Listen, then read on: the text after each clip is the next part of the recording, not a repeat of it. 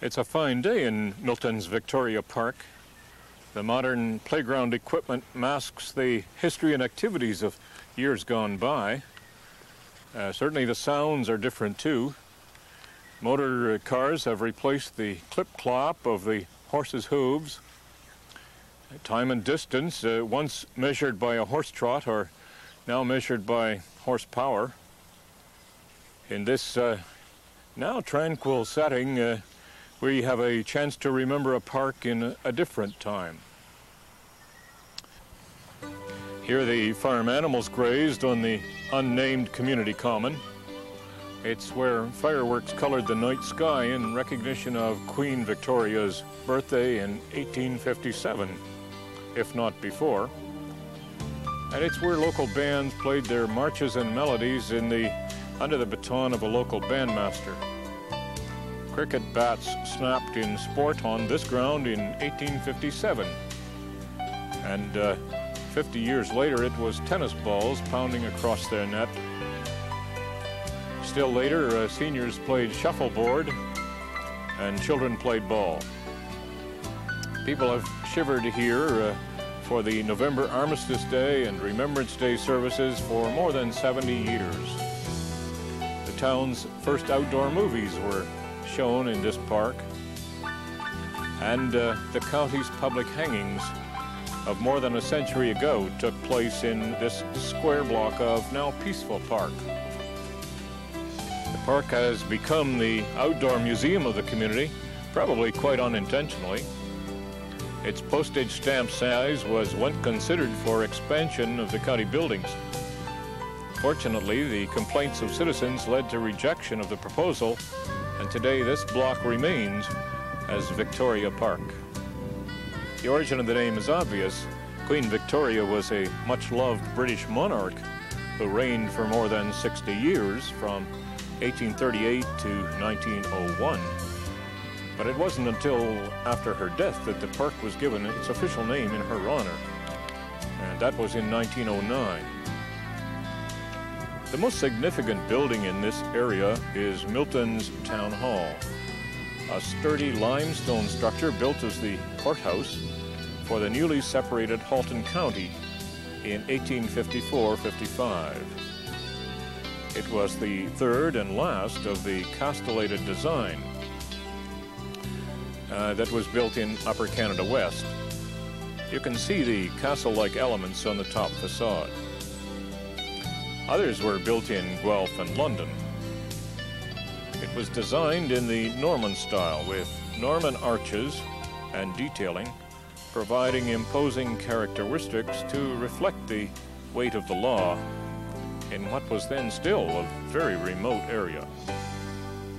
Significantly, it sits on one side of a the only small town grassed urban square in Ontario, today's Victoria Park. The architect for the building was Hutchinson Clark and pupil David Murray contractor was Michael Kenny. It would be unusual if the contract went well, and, and it didn't. The building was supposed to be built in a year. The contract was awarded in February 1854, but it wasn't until March 6, 1855, that council met there, probably in the still unfinished building, for the first time. Before construction, local residents had petitioned County Council to alter the positioning of the, of the building. They were not successful in their objections. The building was deliberately planted on its own private roadway in the middle of the four-acre site as an anchor for the green space that was to become such an asset to this generation. It was that foresight which left us today's Victoria Park. The formidable stone building still fronts on an urban square of green space, which is one of its unique characteristics. Now, builder Michael Kenny was paid £2,975 for his work when the project was finally accepted by the County Council. That might be contrasted with the $1 the town paid Halton Region for the building and Victoria Park or the $3 million the town spent to recycle the building to today's town hall. It should also be remembered that in 1978, Halton Region's chief administrative officer recommended it be demolished and the site leased to the town for a parking lot. Happily, supporters encouraged Milton Council in its decision to recycle the building at significant cost. Their wisdom is particularly appreciated today. The building has been the site of countless historic events. After incorporation in 1857, Milton Council held its first meeting in the courtroom, now the council chambers. Victoria Park's real origin was in the thinking of an Irish settler from County Down.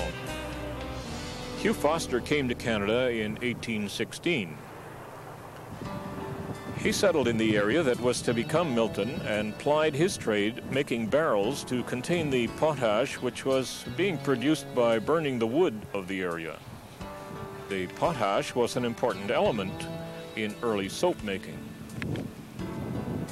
In 1832, Foster purchased 100 acres that were the complete south side of present Main Street of Milton. Twenty years later, he registered a plan of subdivision creating the street pattern and building lots which form the Foster survey of today. At about that time, growth in the area led to the separation of Wentworth and Halton counties. Hotly contested provincial legislation called for the county buildings to be built at or near Milton. Uh, residents in Oakville and Bronte were incensed with the decision it moved the judicial and legislative center of the county inland, away from the transportation of the lake. Those with land in this still unincorporated village of Milton were in competition to have the stately county center built on their land. County councilors, however, couldn't quibble over the price of Hugh Foster's offer. He agreed to provide a four acre site free and so the county buildings were built on the site which includes the present Victoria Park. We see Hugh's family remembered in the names of streets in the area Thomas, Hugh, Sarah, and Mary. It wasn't until 1889 that the common in front of the courthouse got much attention. At that time, trees were planted they ringed the site and provided summer shade. In 1909, a hexagonal bandstand was built.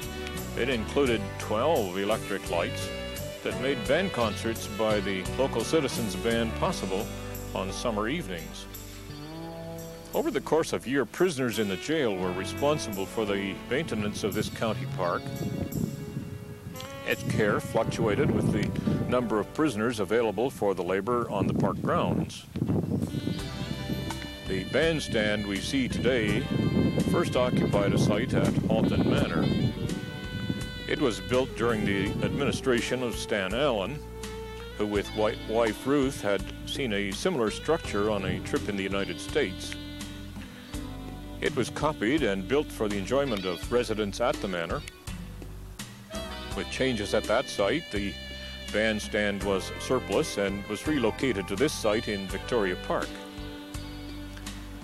Next to the playground equipment, it is the newest addition as the municipality strives to regain the Victorian flavor of the grounds. The county jail was an integral part of the courthouse complex Villains were brought to Milton from all corners of the county for trial or incarceration. That time in the lockup could involve anything from hard labor to execution.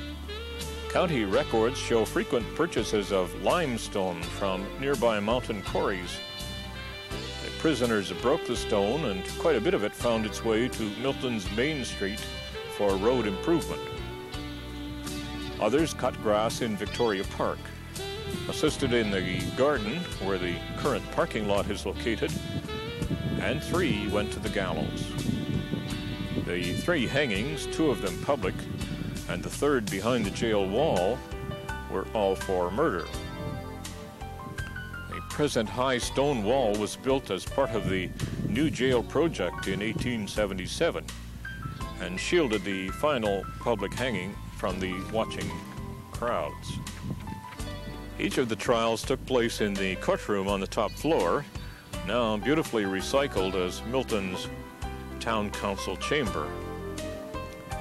Today's garden inside the original jail walls, faithfully and beautifully maintained by members of Milton Horticultural Society, is in sharp contrast to the Spartan, treeless exercise yard and death site that was once the area's function. Similarly, the windows in the stone building now light municipal offices rather than oppressive jail cells. Before the garden could be developed, an archaeological-like search of the ground was conducted. It was important to ensure no bodies of prisoners hanged had been buried there. None were found. There are three other features of Victoria Park that have significance in the history of the community. The German field piece is a 75 millimeter field gun which was captured in the dying days of World War I. It served German forces near Queant, France, on the Western Front. Its range was nearly seven miles. The 3rd Infantry Battalion of Toronto captured the piece in September 1918.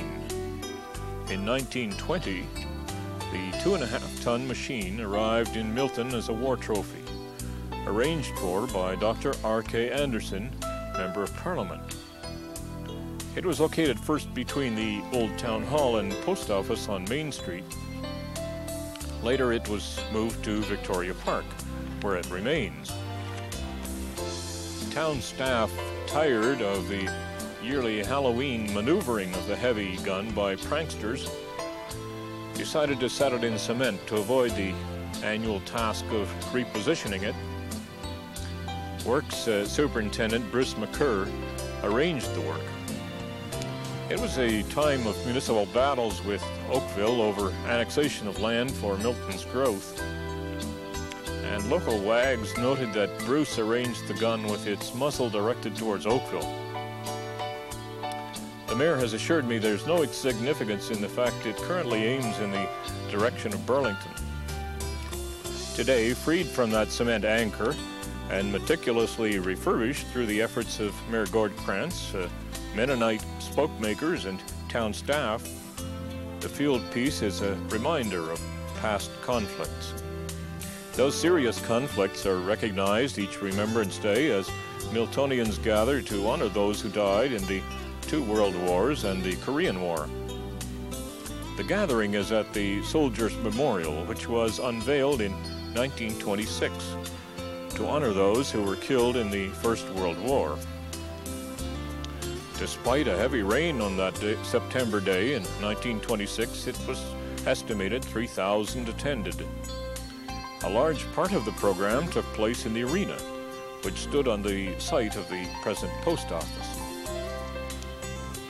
The memorial is of Canadian granite, uh, and the figure of the soldier was from an original by prominent Canadian sculptor Emanuel Hahn.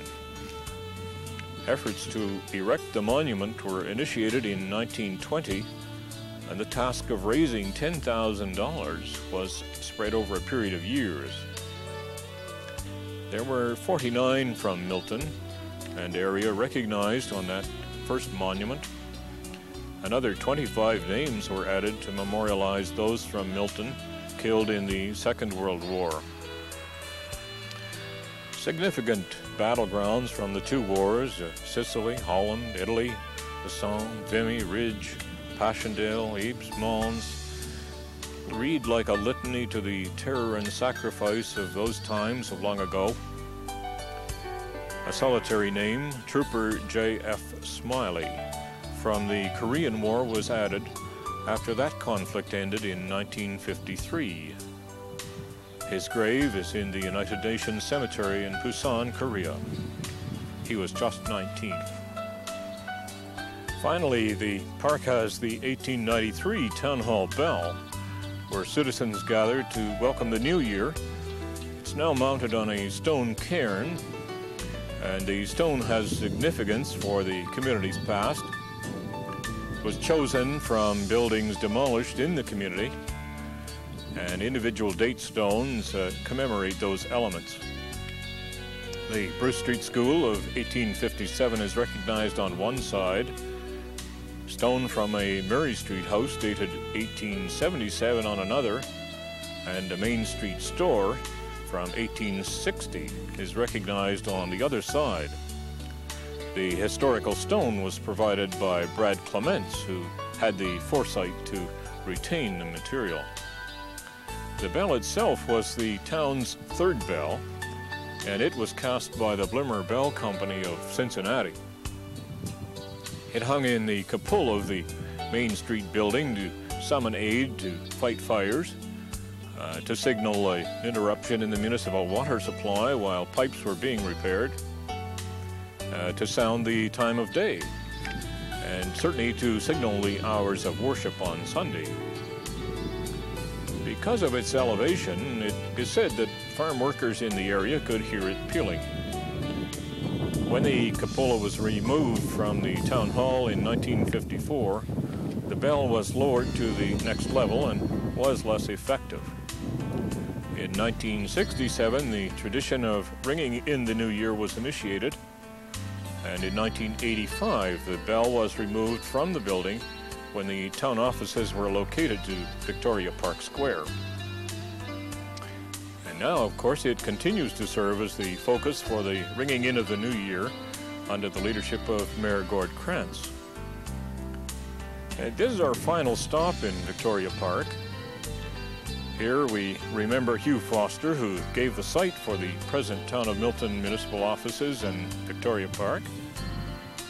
Hugh Foster's generosity has been recently recognized his motives may have been to promote development of his land, but his vision reached beyond the 1853 tracks in the mud of an early Milton to the streets of a developed and prosperous community.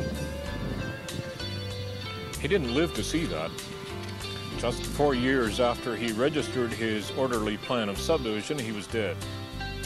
His property was parceled out and his memory largely ignored. Foster Avenue, originally part of the present Charles Street, was wiped from the town map by a later council action to meet the need for consistency. It wasn't until this generation that researchers of Milton Historical Society and others suggested to council that Hugh Foster be recognized in the naming of the small stone building beside the town hall. Now, meetings, receptions, and events regularly take place in Hugh Foster Hall. It's an attractive building which began life in 1915 as the County Registry Office. Here, land transfers and legal documents were recorded for more than 40 years. Then it served as a family court and Children's Aid Society office before being purchased by the town to be included in the impressive buildings of Victoria Park Square, Milton's Outdoor Museum. The sights and sounds have changed. The events are not always as dramatic as in the past, but Hugh Foster, the Irishman from County Down, Ireland, can still smile down on this attractive green square, the county's historic heart.